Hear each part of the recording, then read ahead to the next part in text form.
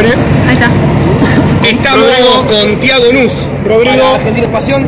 Tiago, te hicimos la nota con, con mi compañero Sergio. El último día de pretemporada, el partido con el Eminente Brown. Rodrigo. Ese día fuiste sorpresa porque jugaste con el primer equipo, lo hiciste muy bien, deslumbraste. Hoy fuiste la sorpresa entrando en el 11 titular Sí, en el último Thiago partido de la fase en regular. ¿Cómo es esta evolución de que tuviste de esa gran pretemporada que te llevó al equipo inicial hasta este último partido? Eh, no, la verdad que Eh, me dedico a entrenar todos los días, eh, a hacer siempre un poco más, doble turno. Así que nada, por suerte se va a dar los frutos. ¿Crees que es en gran parte eso lo que hace que, que Milito ir por vos? ¿Crees, crees que tenés tu, tu gran esfuerzo y tu gran rendimiento en los entrenamientos?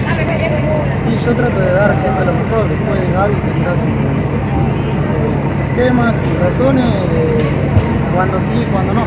Por suerte fue y traté de dar lo mejor y.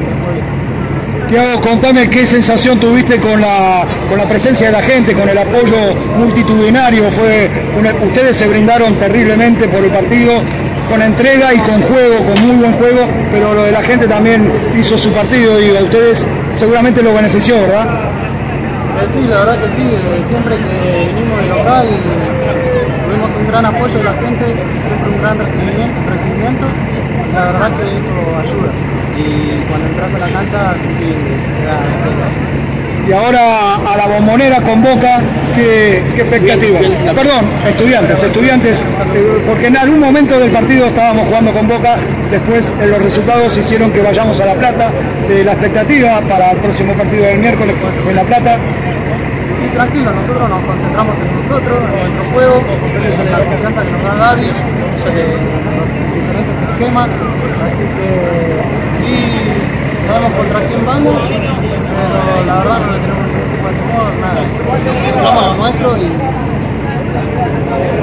pase mejor.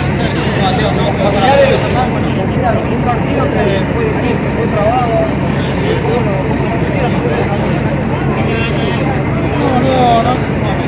Yo en- sentí trabado, la verdad. Eh, siempre confié, confié en el tema, confié en Gaby, en mis compañeros. Así que nunca sentí trabado, siempre estaba tranquilo que